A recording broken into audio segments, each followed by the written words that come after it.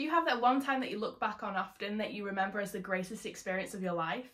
I've been on two internships abroad and they were honestly the best experiences of my entire life. If you've ever wanted to do an internship abroad or volunteer with a conservation organisation, then stick with me as I take you down memory lane on one of my first marine conservation internships in Greece in 2016. If you haven't met before, then hi, my name's Maddie and my channel is all about travel, oceans and sustainability. And today I'll be talking about my time volunteering with Archipelagos Institute of Marine Conservation and how you can apply to internships and volunteer abroad just like I did. If you're into all this, then please subscribe so you don't miss my other videos like this. Picture this, living abroad, right next to the sea, working towards protecting our oceans and having unforgettable adventures with strangers you've just met. Have you ever dreamed of making an impact to our planet while also having the best time of your life at the same time? I'm going to take you back to 2016 when I embarked on an adventure that literally reshaped my world. My very first marine conservation internship in Greece. But this isn't just me just reminiscing about my previous experiences. I'm going to show you how you can become part of something greater to embark on your own life-changing journey. If you've ever thought about volunteering abroad or taking on an internship to benefit our planet, then stick with me. By the end of this video, I can guarantee you'll be one step closer to booking that ticket. So before we dive right in, let me give you some context on how I applied to this internship in the first place. I was doing my degree in film and media studies between 2014 and 2017 in Manchester, which I absolutely hated by the way. I feel like that's a really unpopular opinion about university. Let me know in the comments if you've been to university and you either loved it or hated it. I suppose I don't regret it because I got a good piece of paper after it, but let me know in the comments what you think. Anyway, during my second year of uni, I was 19 at the time, one of my modules was to complete a two week work experience placement. Now everyone was contacting places like the BBC, they wanted to be a runner or like two weeks in an office and I was like absolutely not, I want to go work with fish. Get me in the sea, get me abroad.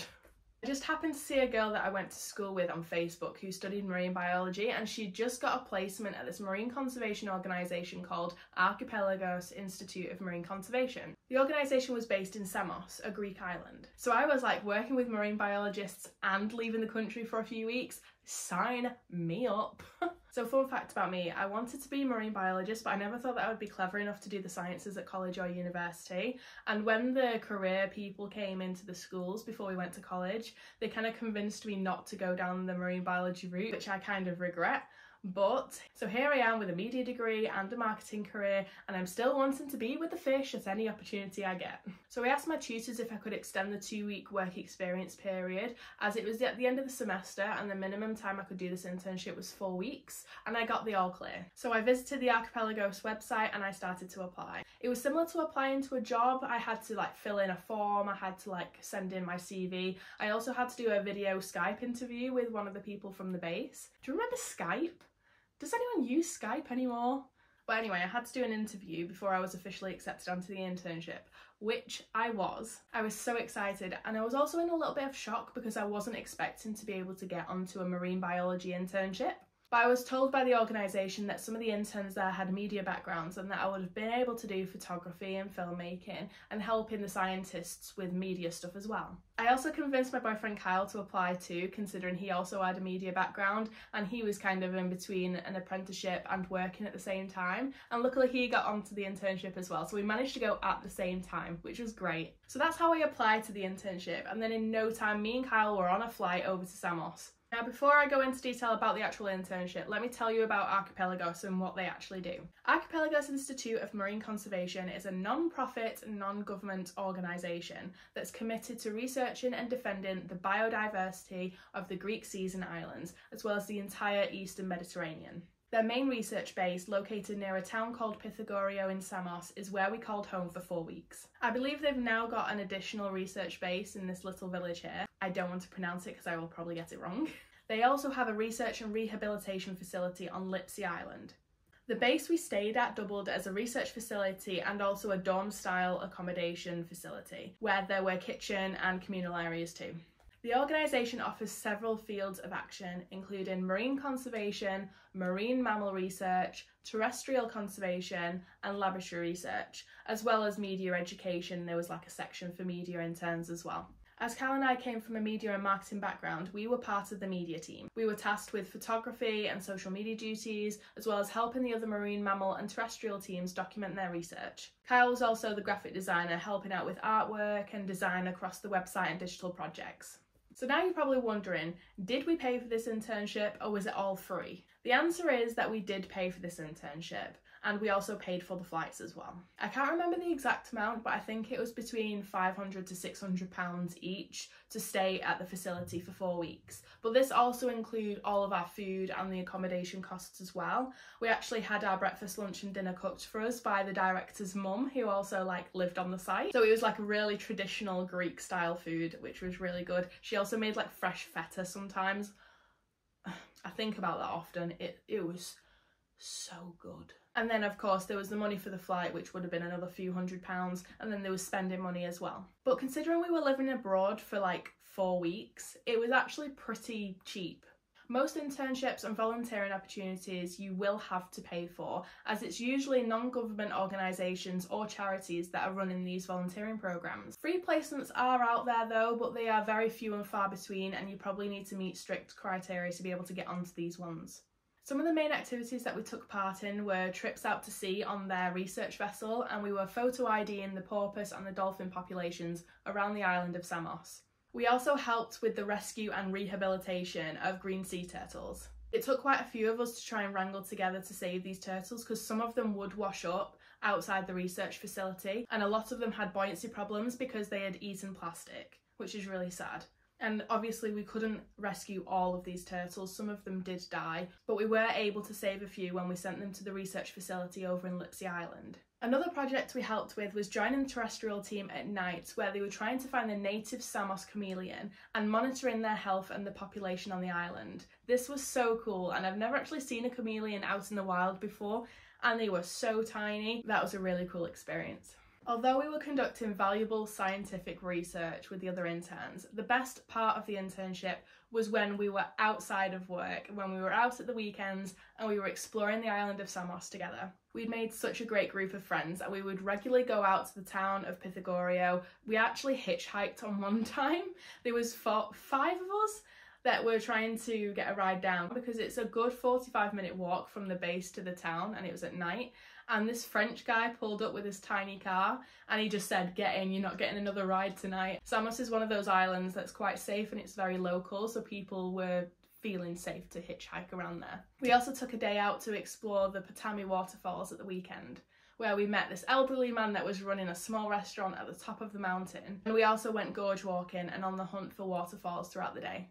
Kyle and I were on our internship in April and we didn't realise but the base actually closed for a week during the Easter period. And all the staff had gone on holiday and we didn't realise that we couldn't actually stay at the facility. So there was around 10 of us and we all decided to go road trip around Turkey for a week instead. We went to meet one of the Turkish marine biologists that were working with us on our internship, and she had to go back to Turkey because something to do with her visa. So we actually met up with her in Antalya, but before then, we explored so much. Our first stop was in Kusadasi, where we explored Ephesus, which is like the big ruins there. It was so pretty, so amazing. There was so much to see there.